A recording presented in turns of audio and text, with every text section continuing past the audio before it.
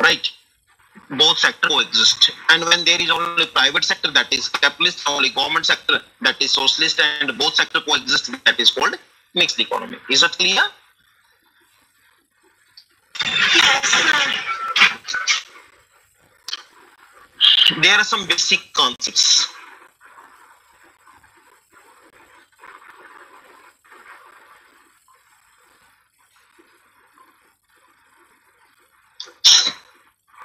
we talk about basic concepts, one is production. Production means what? We can define it in two ways. One is creation of utility.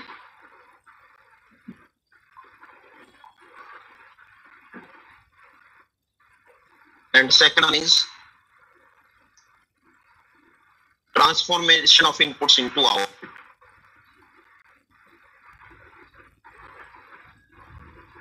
You have milk, tea, sugar, water, and all, and you convert these ingredients in the raw material inputs into a cup of tea. That is what output. You had different ingredients, inputs, and you make a particular product right?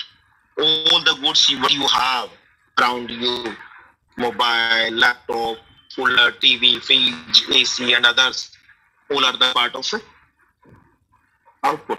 And we have made it from input. So, in when we transform inputs into output, that is what production.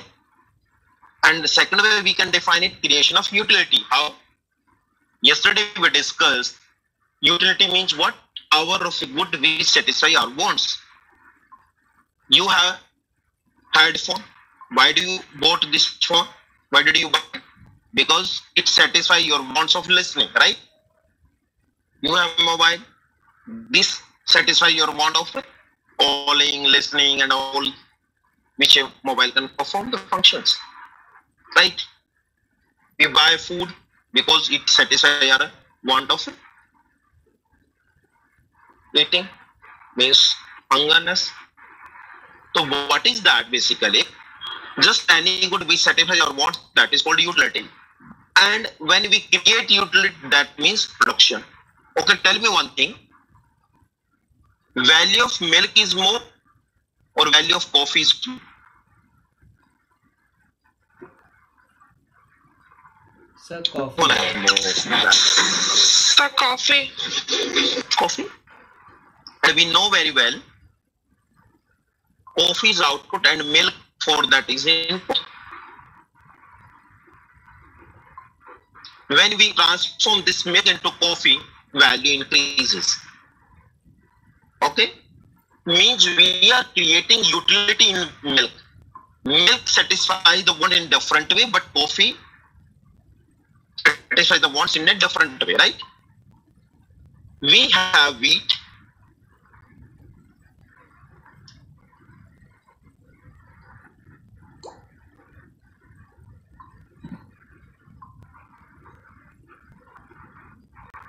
then flour, and then bread. Which has more value among three? Sir, bread. Common. Which has more value? Wheat, flour, or bread? Sir, it's bread. Simrati. One thing, एक concept समझ ले all of you guys जब भी question पूछा जाता है उसको सोच करके आंसर ज़रूर करें। गलत डोंट बोदर अबाउट इट कि गलत बोला। क्योंकि गलत बोलेंगे तो सीखेंगे बोलेंगे तो अप्रिशिएशन मिलेगा। दोनों ही पॉइंट में आपके लिए फ़ायदा ही फ़ायदा है। वो चीज़ों से आप निकल जाइए कि लोग क्या सोचेंगे। कभी कभी अपन लोगों को क्या लगता है, कोई भी क्वेश्चन है, उसका आंसर करना होता तो हमें ये फियर फैक्टर एजिटेशन होती है कि बाकी क्लास वाले हंसेंगे। हाँ ये बात ज़रूर अगर आप नहीं पूछेंगे तो वो बाद में अच्छे से हंसेंगे। हम रोएँगे पक्का। बट अच्छी बात है कि क्लास में लोग आंसर करें तो हम लोग सीख लेंगे। क्योंकि हमें एक बहुत बड़ी हेजिटेशन हम लोगों में, कि अगर कोई क्वेश्चन पूछा जाता है, हमें नहीं आता तो या थोड़ा सा आता भी है तो हम लोग क्रेज ही नहीं करते आंसर करने का कि बाकी पता नहीं गलत होगा तो क्या होगा? तो गलत होगा तो क्या होगा? टीचर बोलेगा क्या? ठीक है, नहीं, इसको ऐसे करते हैं। क्या करते हैं हमने? आंसर ना बोल करके तो जितनी पॉसिबिलिटीज है ऊपर उठने का, सभी बंद ही कर दी, खत्म ही कर दी। राइट अगर कोई बच्चा स्कूल में ना जाए तो पॉसिबिलिटी है कि वो पास हो जाए। एडमिशन ही ना ले।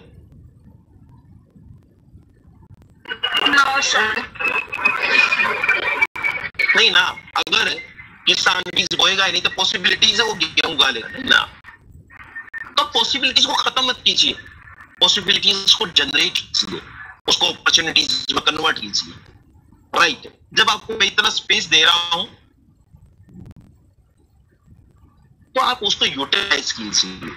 Don't for worry about it what the other students will think don't worry about it what the teacher will think if you say right answer that is good you will be appreciated if you give wrong answers don't worry about it teacher will correct it दोनों ही तरह से आपका और यदि आप लोगों को ये लगता है कभी कभी कि ये हेजिटेशन तो just I tell my own experience when I was in class like sixth or seventh और अभी तो आप लोग 20 30 स्टूडेंट्स होते क्लास उन दिनों तो 70 80 100 जैसे होते थे गवर्नमेंट स्कूल्स में, दो दो, तीन सेक्शन इकट्ठे कर देते थे। और जब वो बोलते थे टॉपर इवन तो वो कई बार होते गाँव में कि टीचर ने समझा टीचर ने पूछा, समझ में आ गया तो नीचे वाले बच्चे होते हैं जो ठीक से होते ज़्यादा ही अच्छे होते हैं हाँ जी आगे आगे आगे आगे चलो जी आगे चलो, हो गया हो गया सही आगे आगे ठीक है, करता कराओ जी आगे आओ तो मैं बोल देता था अकेला पूरी क्लास के अंदर सर मेरे को समझ में नहीं आया तो टीचर बोलता था कि इनको भी समझ में आ गया। समझ गया ना कि इनके लिए बोल रहे हैं। टीचर भी बोलता था, पता होता टीचर को भी। बोले, इनको समझ में आ गया, तेरे को नहीं आया पहले नहीं सर, मेरे को नहीं आया बड़ा अजीब है, तेरे को नहीं आ रही, इनको आ गया। मैं हरियाणवी में वो बोलते थे, हरियाणवी में हम लोग बोलते थे। तो मैं बोलता था, हरियाणवी भाषा में। मैंने जी जिस चौधरी का समझ में आ गया बोर्ड पे निकाल दे। जो टीचर कहता था जिन्होंने कहा जी आगे आगे निकालो तो वो कहता था बोला जी समझा दो ठीक कहता कहा तो जी इसका नियम ईमानदार करवा दो इसके लिए what would you like to say don't worry about it what the other thing it is of you only it is your life do you know or not have you understood this is not the question we have paid or not this is the question if we are spending time we are investing time we should learn it because we can't buy time again that is the very very say uh, expensive item we have. Right? तो सो आप जब समझ में आता है कोशिश करें सोच करके बोले गलत है तो नो वरी अबाउट ठीक है? आगे से आई थिंक कि आप लोग समझ गए what I would like to point out नहीं भी आता है तो कोशिश करें। ठीक है? ताकि आपको ये क्रिएटिविटी आएगी आपके अंदर की ठीक है, हमने ट्राई करना है। ट्राई करें आप। गलत सही की चिंता नहीं करें। जस्ट वी आर लर्निंग हमको एग्ज़ाम में नहीं किया जा रहा। हमको लर्निंग करना है। ओके टेल मी अगर आपके पास वीट है और फ्लोर और ब्रेड है, तीनों में से किसकी वैल्यू ज़्यादा होती है? वीट महँगा होता है या फ्लोर या ब्रेड सर आउटपुट तो तीनों से मिलता है तो शायद से वैल्यू लगभग सेम हो ओके आपके पास एक के जी वीट है, एक के जी फ्लावर है, एक के जी आटे की आपने रोटी बना दी। तीनों बराबर मिलेंगे?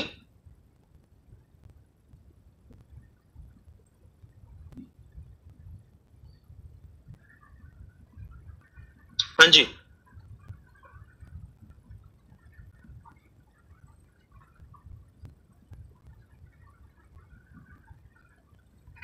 नो सर बराबर मिलेंगे हम्म? किसकी वैल्यू ज़्यादा होती है? वीट हम्म?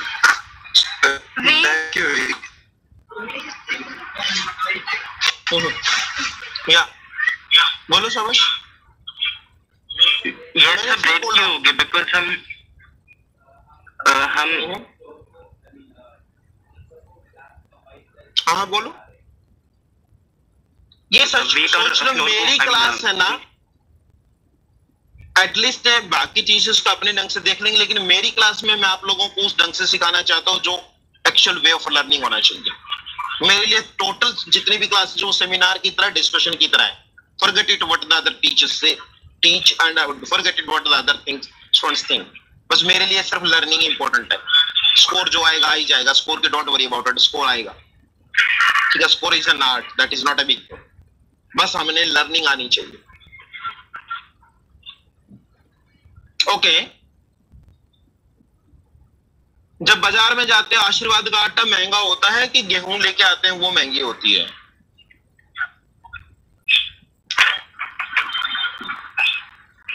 और एक किलो आटे से रोटी बना करके, जो हल्दीराम वाला तो वो रोटी कितने की होती है?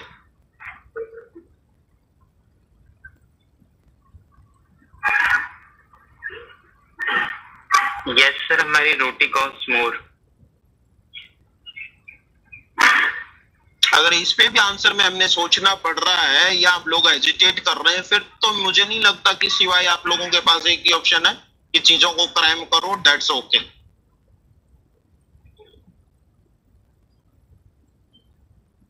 फिर तो आपके दिमाग से कोई और खेलेगा आने वाले टाइम में।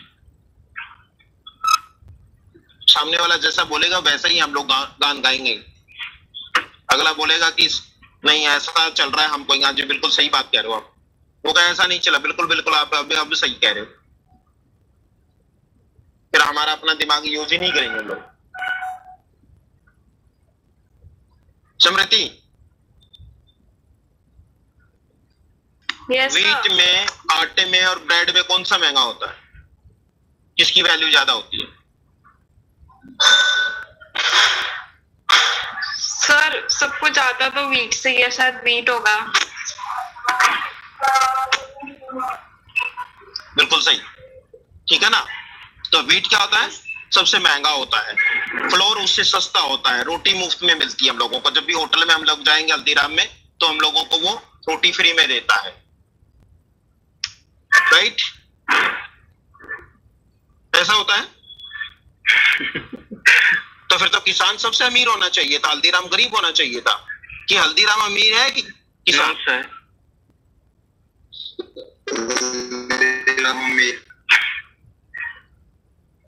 अच्छा जो कपड़े सिले हुए होते हैं वो महँगे होते हैं कि बिना सिला हुआ कपड़ा महँगा होता है? हल्दीराम अमीर है उसका सिला हुआ। हैं? सिला सर सिला हुआ महँगा होता है।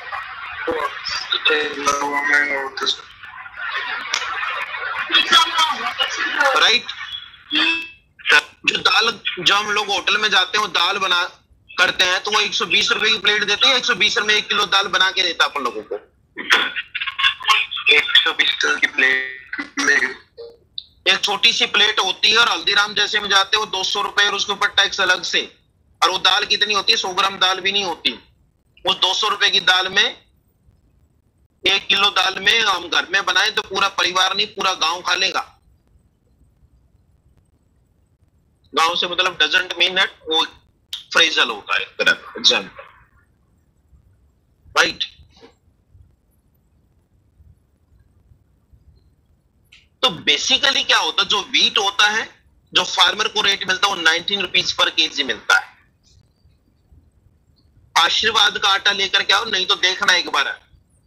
बेसिकली अभी दो चार पाँच साल आप क्लास में हो स्कूल में होंगे कॉलेज में होंगे यूनिवर्सिटी में होंगे। उसके बावजूद फिर घर में आटा दाल चावल ही लाना आप लोगों को भी, जिस तरह हमारे पेरेंट्स ला रहे हैं। हम कोई पोस्ट ग्रेड करके कोई चंद्रमा पे नहीं जाने वाले हैं सब लोग। राइट तो वो आटा कितने? थर्टी एट रुपीज़ के जी सोच रहे हो कितनी वैल्यू ऐड की इसने? नाइनटीन रुपीज़ के जी और ये सी एक के जी आटे का, जब वो हल्दीराम वाला खाना बनाता है, चपाती बनाता है तो वो कितने की हो जाती है? बीस रुपए की एक चपाती और पाँच एक के में अगर पचास चपाती बनाता तो ये पचास से मल्टीप्लाई करो तो वन थाउज़ेंड रुपीज़ की। इसलिए हल्दीराम अमीर है और उससे बनाने वाला कम और उससे बनाने वाला किसान और भी गरीब। समझ रहे बात किसान अपनी पूरी ज़िंदगी में एक एकड़ लैंड नहीं नहीं खरीद पाता और हल्दीराम थोड़े टाइम के बाद हर नया आउटलेट खोलता जाता है। तो आपको ये नॉलेज होनी चाहिए कि हमें ये बंदा सिक्स मंथ्स के अंदर उन्नीस रुपए, जबकि इसका अगर इनपुट कॉस्ट निकालेंगे फर्टिलाइजिंग इंसेक्टिसाइड पेस्टिसाइड उसकी लैंड की इन्वेस्टमेंट इतनी बड़ी, उसका टफ लेवल उसकी वर्किंग तो हो सकता हो शायद दो रुपए के जी का ही प्रॉफिट लेता हो। लेकिन ये वाला उन्नीस रुपए किलो गेहूँ खरीद के ग्राइंड करके और थोड़ी बीज की कॉस्टिंग पे हो सकता है, दस रुपए किलो का प्रॉफिट लेता हो। और यही हल्दीराम, उसका अड़तीस रुपए को एक हज़ार रुपए किलो में। एक किलो आटे की अगर चिप्स बना दी जाए तो चिप्स महँगी होती है कि एक किलो सॉरी आलू? Which one is more costly chips और potato chips we know very well जब हम लोग चिप्स खरीदते होते हैं तो उसमें कितनी चिप्स होती हैं? बीस रुपए का पैकेट मुश्किल से साठ सत्तर ग्राम तो बहुत ज़्यादा हो गई। इतनी भी नहीं होती कई बार। सोच रहे हो?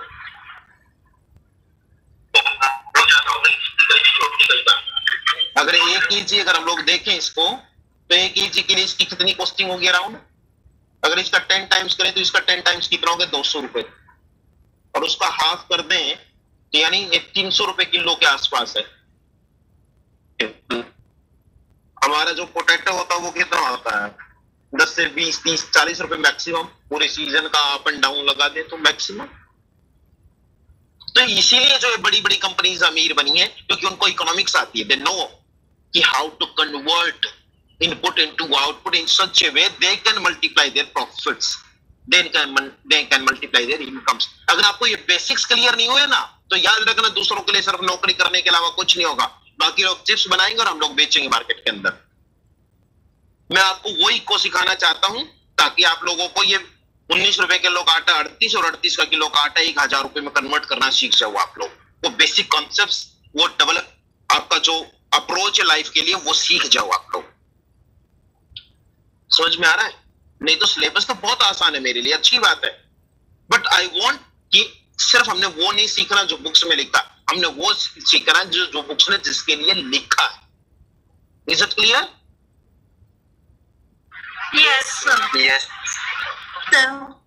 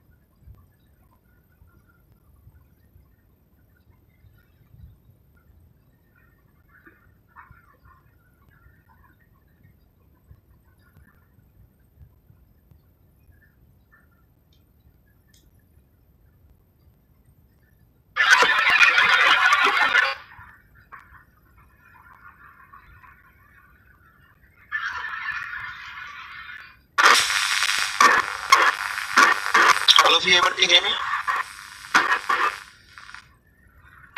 Yes, sir.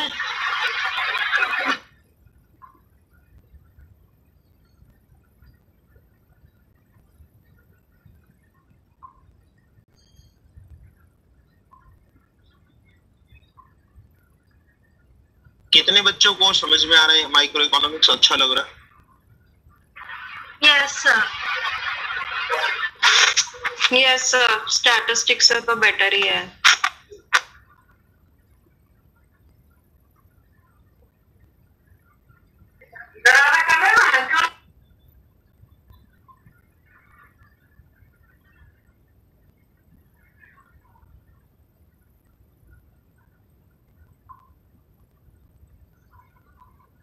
Tanishka, Jasnoor yes Dubey Kajal, कैसा लग रहा है माइक्रो?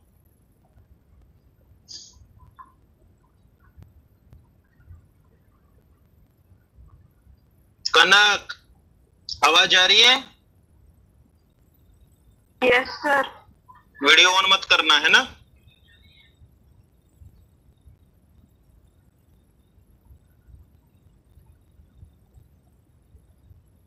क्योंकि वीडियो ऑन करेगी तो हो सकता है समझ में आ जाए आपके। फिर क्या फ़ायदा होगा समझ में आ गया तो? है ना?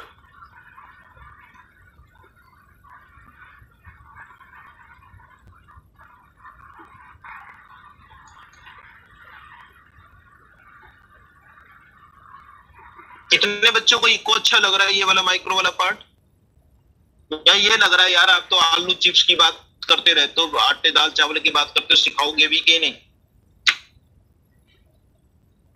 सर अच्छा लग रहा है। कितने बच्चों को अच्छा लग रहा है प्रैक्टिकली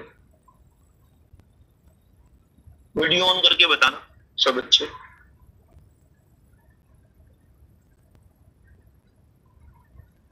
कनक वीडियो ऑन करो? कनिष्का।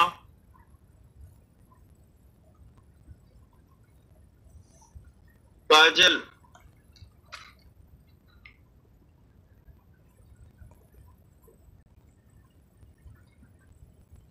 नीतीश कैसा लग रहा है माइक्रो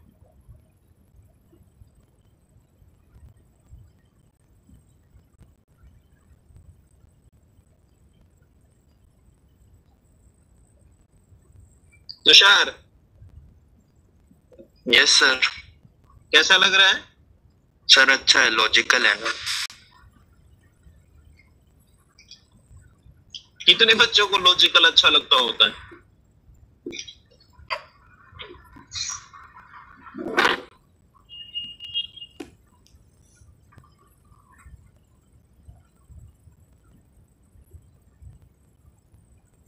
तनिष्का तो बिल्कुल सीधी सादी इतनी सिंपल सी करके बैठी रहती है जैसे न्यूज़ पढ़नी है बस। बाकी कोई नहीं बोलना कुछ। है? तनिष्का? यस सर तो बोला तो कर। हैं? जैसे कोमल बोलती है स्मृति बोलती है। साक्षी बोलते हैं आवाज़ नीतीश रिस्पॉन्ड करता है। हम्म? फिर कुछ कुछ बच्चे बाद में बोलेंगे अरे सर आप सिर्फ़ उनको बोल नाम लेते हो। अरे नाम क्या करेगा सामने वाला? जब आप रिस्पॉन्ड ही नहीं करेंगे तो धीरे धीरे टीचर अटक जाएगा चार पाँच बच्चों पे। कनक को बोलो तो बोलने के बाद तो बोल देती है अभी बाकी तो ठीक है इसका भी।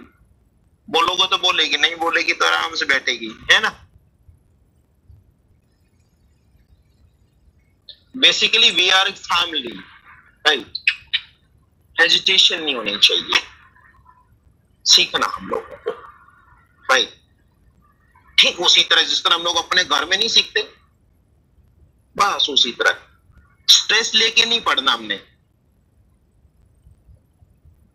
जिस तरह खेलते हैं ना ग्राउंड के ऊपर कोच सिखाता है। एक एक स्टेप के ऊपर काम करता है, लेकिन तब जब सामने वाला रिस्पॉन्ड करता है। और सामने वाला रिस्पॉन्ड नहीं करता तो फिर क्या करता है? कोच सिर्फ़ उन बच्चों पे फोकस करने लग जाता अच्छे से, जो परफॉर्म करने लगते हैं। फिर बच्चों को लगता कि इसको आप बोल रहे हो, इसको नहीं बोल रहे।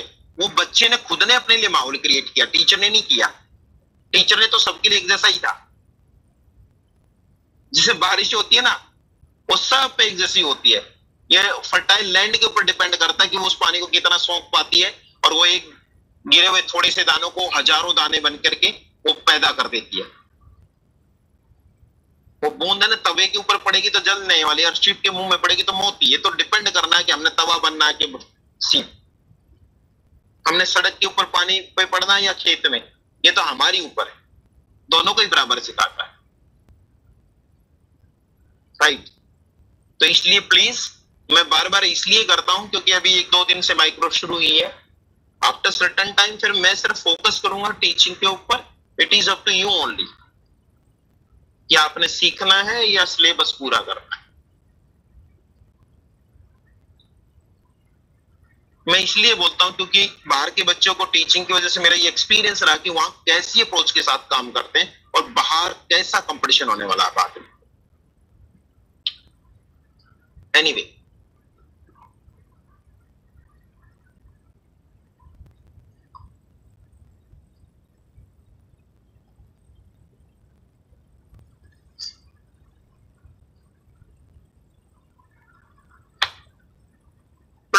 प्रोडक्शन के बाद आता conjunction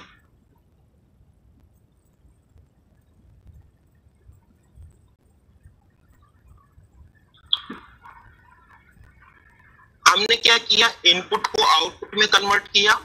that is what production और इसको हमने यूज़ कर लिया. ये क्या बन गया? कंजक्शन हमने क्या किया? वीट को फ्लोर के थ्रू हमने ब्रेड बना दिया और ब्रेड को हमने जब ईट करते हैं तो इसका मीनिंग क्या? वी आर कंज्यूमिंग ब्रेड तो ब्रेड खा करके अपने को क्या मिलता है?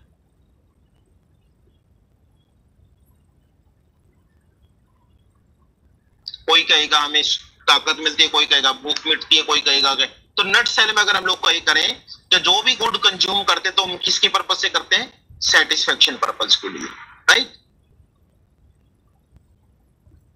basically using up of utility is called consumption and creation of utility is called production concept clear हुआ creation of utility is production and using up of utility is called consumption अगर हम जो गुड बना दी input से output ये क्या हो गया हमारा production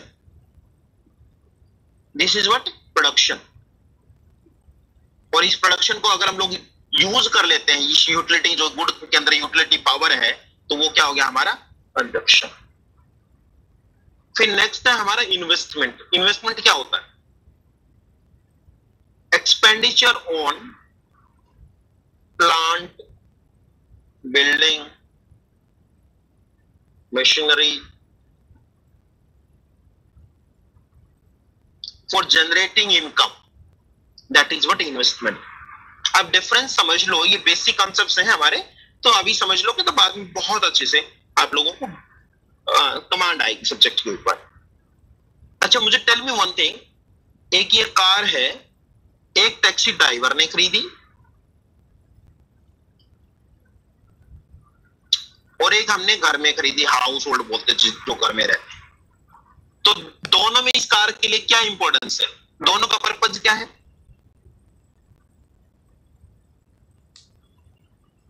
सर दोनों ट्रैवलिंग के लिए यूज़ होगा। राइट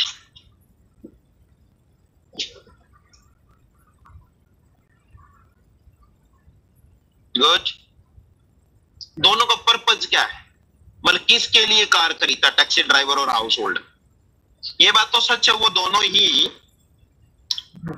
ट्रेवलिंग के लिए यूज़ करेंगे, क्योंकि कार के अंदर गेहूँ तो उगा नहीं सकते अपन। और ना ही होटल खोल सकते हैं। कार में। हालाँकि बोले कि कुछ कुछ होते हैं सर जो थोड़ी सी बड़े वाली खरीदते हैं ना तो उसके अंदर ना मोमोज बनाने लग गए मेट्रो पे लगाते हैं। बट मेनली मुझे लगता है कि कार का पर्पज इस तरह के तो नहीं होता होगा राइट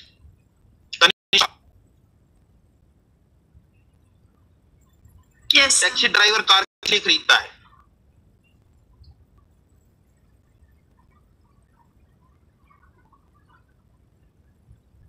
हम लोग जो घर में कार खरीदते हैं अपने लिए कभी ऐसा करते हैं कि हम लोग अपने घर से निकले उड्डा से जा रहे थे और उड्डा से आगे जाते जाते हमने जाना था गोल्फ कोर्स रोड और दो सवारी खड़ी थी और उसको हमने बोला भाई बैठ जा तो और वहाँ जाए पीछे दस रुपए दे दियो। फिर गोल्फ कोर्स से अपन ने जाना था एमजी रोड वहाँ से दो चार सवारी खड़ी थी उसको बिठा लिया और फिर कहा भाई चलो बीस रुपए तू भी दे दी वहाँ तक का बीस रुपए किराया होता है। नो सर हम ऐसा नहीं करते। करते हैं कब भी ऐसा। नो सर हाँ सर तो क्या करते हैं अपन? सर हम्म? टैक्सी ड्राइवर तो मनी अर्न करने के लिए होता है रेवेन्यू जनरेशन और हम लोग अपने घर में कार खरीदते हो वो? तो सब फैमिली मतलब अपनी फैमिली मेंबर्स के लिए हम लोग यूज़ करते हैं ना. फैमिली तो सेम गुड का डिफरेंट यूज़ है. अगर मैं इसको प्रॉपरली बोलूँ तो ये कहेंगे कि जो कार टैक्सी ड्राइवर जैसे मुस्कान ने बोला कि वो रेवेन्यू जनरेट करने के लिए इनकम जनरेट करने के लिए करता और घर में हम जो कार खरीदते हैं, अपने सेटिस्फेक्शन अपने फैमिली यूज़ के लिए खरीदते राइट इधर जाना है, उधर जाना है फैमिली फ़ंक्शन में जाना, अपने घर के प्रॉपर यूज़ के लिए राइट कोई बात नहीं, मुस्कान इसको एक क्वेश्चन दे दे स्टेट का, ठीक है? उसको बोले, बैठ के करिए। कोई बच्चा बच्चा खेलता है तो खेलने दो उसको डोंट उसको नहीं डिस्टर्ब करो। लेट हिम एंजॉय हम अपने पढ़ाई के चक्कर में बच्चों का बचपना ना खोएँ। कोई फ़र्क नहीं पड़ता है पिन ड्रॉप साइलेंस होनी चाहिए। घर में माँ इधर से नहीं निकले उस कमरे में। भैया, हम लोग बॉम्ब नहीं बना रहे हैं। कोई हाथ लगा देगा, फट जाएगा। घर में पढ़ रहे हैं। कोई बात नहीं। मोम पेरेंट्स इधर उधर जा रहे हैं, जाने दो उनको। डॉट बोदर डिस्टर्बेंस होती है, थोड़ा अपना म्यूट कर लो ताकि बाकी डिस्टर्ब ना बाकी इतना नहीं, अपने घर में माहौल क्रिएट करो कि क्लास होने की वजह से उनको पेन नहीं करके रखें। उनकी वजह से हमें, हमारी वजह से वो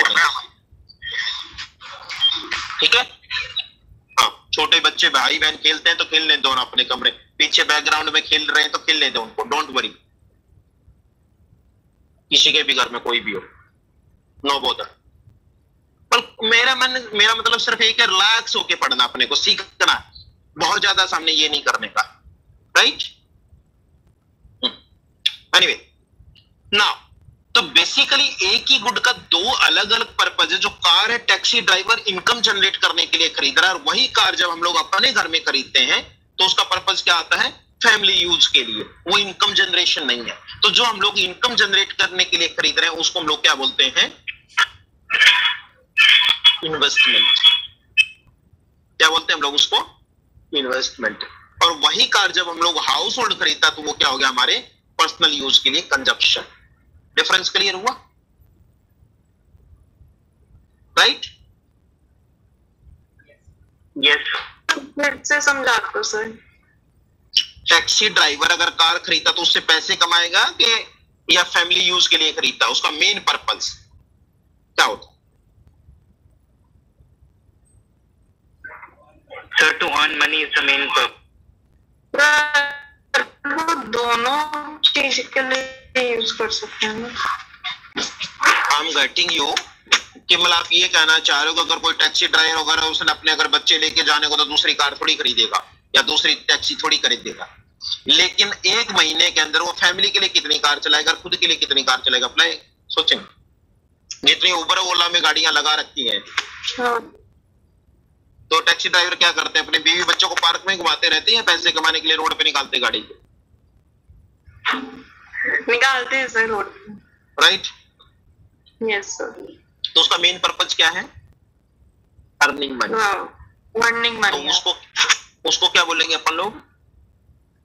इन्वेस्टमेंट राइट यस ये जो बातें मैं आपको आसान करके बता रहा हूँ ना इतना नॉर्मल में इलेवेंथ क्लास में सिखा रहा हूँ। या पोस्ट ग्रेड में जाकर के भी है ना जब कंपनीज़ में जाएँगे ना और जब वो आपको असाइनमेंट्स के लिए फ़ील्ड में भेजेंगे जब भी, भी नहीं सीख पाएँगे। शायद अभी आप लोगों को इसलिए वैल्यू नहीं हो रही क्योंकि आप लोगों को पता नहीं चल रहा है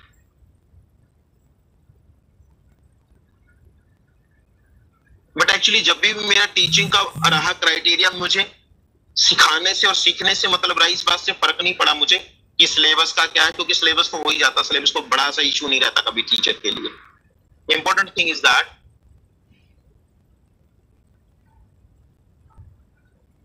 Nitish ये कैसे हिल रहा है आपका नम ये?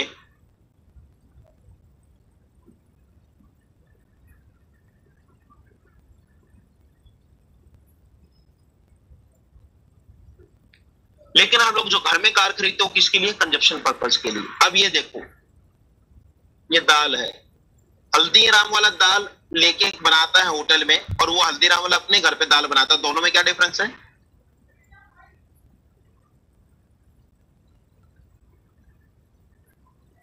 सब बाहर वो हमसे पैसे लेगा चार्ज करे और घर पे वो फ्री में बनाएगा फैमिली के लिए। तो यहाँ उसका पर्पज क्या है? इन्वेस्टमेंट पर्पज और वो दाल उसका इंग्रेडिएंट्स हो गई। जैसे अभी जूसर मिक्सर ग्राइंडर है, हम अपने घर पे भी रखते हैं और जूसर वाला भी रखता है। तो जूसर वाला उस जूसर मिक्सर ग्राइंडर से उसको मनी जनरेट करता मल्टीपल टाइम्स मोस्टली दोनों के लिए सेम रेट सही आता होते घर पे थोड़ी सी महँगी है क्योंकि हम लोग कम मात्रा में खरीदते हैं। बट जो होटल पे उसके लिए जूसर मिक्स, जूस वाला होता, जूस कॉर्नर वाला, वो बल्क में खरीदता थोड़ी सी सस्ती होगी। बट वो वहाँ से पैसे जनरेट करता, उसी सुजाता के जूसर से। लेकिन वही सुजाता का जूसर हमारे घर में होता है तो हम लोग सिर्फ़ फैमिली यूज़ के लिए खरीदते हैं और कभी कभी यूज़ करते हैं। डेली बेसिस पे यूज़ नहीं करते और डेली आठ दस घंटे यूज़ नहीं करते राइट अब उसी पाँच हज़ार रुपए के जूसर से वो पचास हज़ार रुपए कमा लेता है और हम लोग उसी जूसर को बस कुछ नहीं करते सिवाय अपने फैमिली यूज़ के लिए। जब वही जूसर वाला क्या करता है, यहाँ करता है उसको तो वो इन्वेस्टमेंट होता है और यहाँ यूज़ करते हैं तो उसको हम लोग कंजप्शन बोलते हैं फैमिली यूज़ बोलते हैं। डिफरेंस क्लियर हुआ? सर अब ये बोलेंगे, सर, ये जूसर, मिक्सर, ग्राइंडर, दाल, आटा, चावल, इन्हीं की बात करोगे, कुछ पढ़ाओगे भी?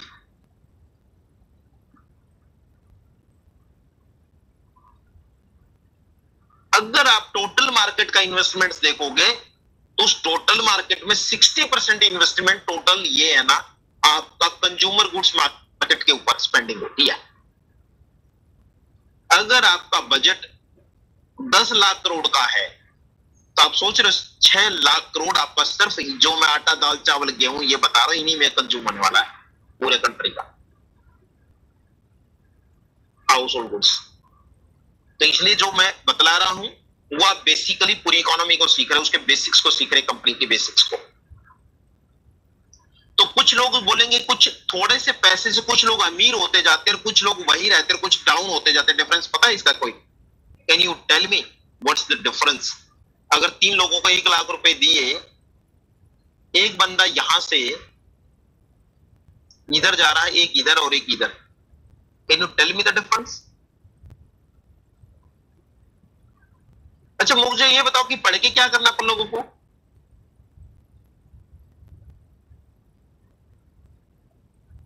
डिग्री लेनी है? और हमने बोलना अपने पेरेंट्स को कि ज़िंदगी भर हमें बैठ के खिलाओ। नहीं सब गोल अचीव करना है जो सोचा है। तो सबका अगर मैं एक ही बात करूँ तो दो ही गोल है ना। अच्छा सा पैसा और अच्छी सी रेपुटेशन है बाकी तो गोल कोई नहीं है। तीसरा गोल तो गोल ही है बस। है किसी का तीसरा गोल यस से बदलता रहता है सर बताओ क्या गोल बदलेगा? आप इंजीनियर बनो डॉक्टर बनो एक्टर बनो एक्ट्रेस बनो आप कुछ भी बनो पैसा चाहिए और इज़्ज़त चाहिए। कौन आदमी का मेरी बेइज्जती और मैं गरीब सा हूँ? और मैं कुछ बड़ा सा आदमी बनूं। जॉब लगती है रिस्पेक्ट और इज़्ज़त अपने आप ही आ जाती है। सोसाइटी अच्छा सोचने लग जाती है। अरे भाई वही तो दो चीज़ों में मैंने बता तो दिया पूरे टोटल को। इसके अलावा तीसरा मेरे को बताओ ताकि मेरे को सीखने को मिलेगा।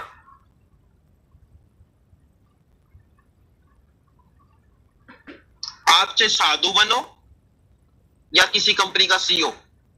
सबके पीछे दो ही गोल छिपे हुए हैं। सर फॉर नॉलेज नॉलेज लेके क्या करेंगे? घर में रखेंगे या नॉलेज बांटेंगे लोगों को?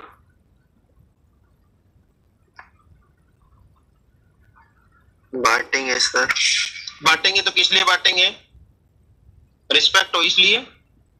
यस सर या जाके जंगल में उन शेरों को सिखाएँगे कि भाई तुम ऐसे किया करो इकोनॉमिक्स को। कितने लोग ऐसे हैं जो कबीलों के बीच में गए हैं ट्राइबल बेल्ट में गए हैं, और जिन्होंने अपनी नॉलेज को बांटा ताकि इनको भी नॉलेज हो। सारे लोग डॉक्टर मेदांता में क्यों जाना चाहते गाँव में क्यों नहीं जा रहा कोई भी? क्योंकि मेदांता में होगा तो रैप होगी, गाँव में होगा तो कोई नहीं पूछेगा।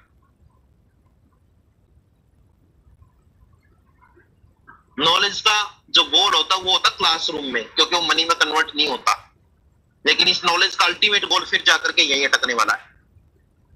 Right right.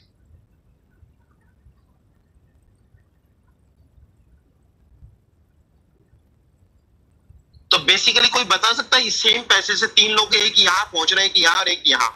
पहली बात तो सबका गोल क्या है? एक नंबर या दो नंबर या तीन नंबर क्या गोल है सबका लाइफ में?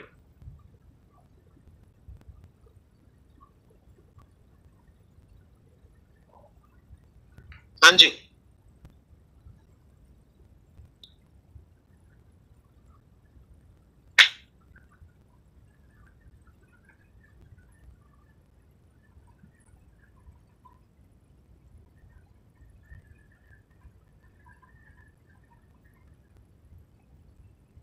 साक्षी कनक। नीतीश। क्या गोल है हमारा? कौन सा? कनिष्का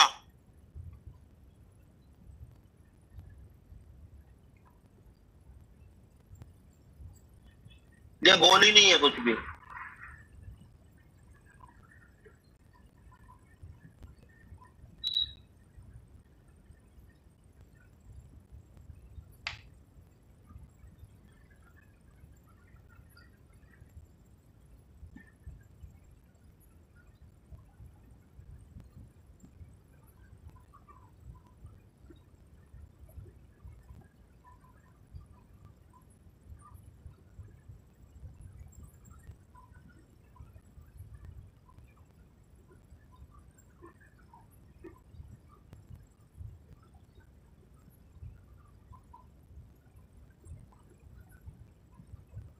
चलो कल से प्योर हम लोग सिलेबस करेंगे।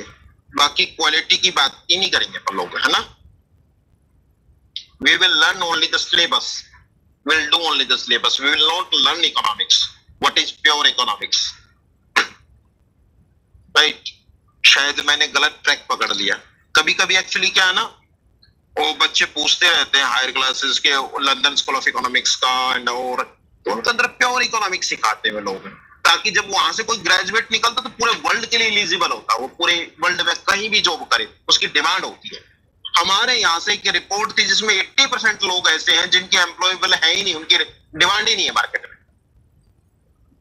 या कोई पोस्ट ग्रेजुएट है, एक लाख रुपए की वैल्यू कैरी करता है, लेकिन अब बीस हज़ार रुपए में जॉब करने को तैयार है। सिर्फ़ इसलिए क्योंकि दमी नहीं है। वो कभी कभी मुझे ऐसे लगता है, वो इसका रीजन ये होता है क्योंकि क्लासरूम के अंदर है ना वो रेपो ही नहीं बन पाती स्टूडेंट और टीचर की। ना तो टीचर इतना पेन लेने को तैयार है कि उसको वो सिखाए जो वर्ल्ड में चाहिए मार्केट के अंदर। क्योंकि हमारे आउटडेटेड है सारा। टेक्नोलॉजी की बात करो तो सारे सॉफ्टवेयर आउटडेटेड है। जो मार्केट में बेसिकली होता क्या है? कंपनी में जो चाहिए जॉब निकलने के बाद, हम लोगों को वो सिखाया जाता। दो दो, दस साल पहले मार्केट में था, पाँच साल पहले मार्केट में। इसलिए हम लोग कामयाबी नहीं है।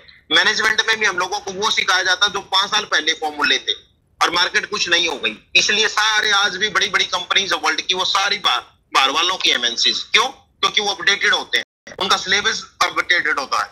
अगर यदि कोई टीचर ट्राई भी करे ना तो हम लोगों को इतनी ट्रेडिशनल आदत पड़ी हुई है उसकी कि हम लोग उसको ये लगता है कि जो नए वाला करा रहे हैं ना, वो गलत हो रहा है। राइट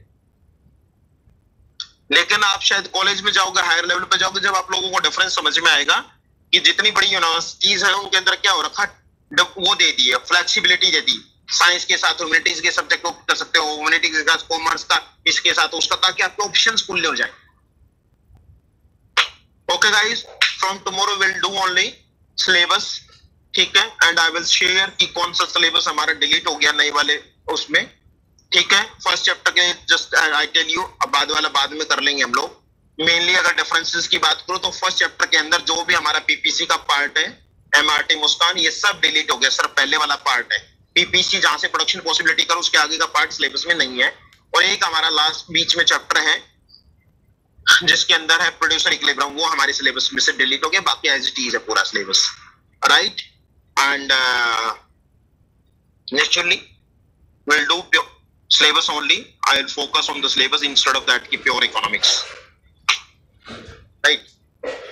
Anyway, guys, इसको आप पढ़े चैप्टर को then tomorrow will continue. Thank you all of you.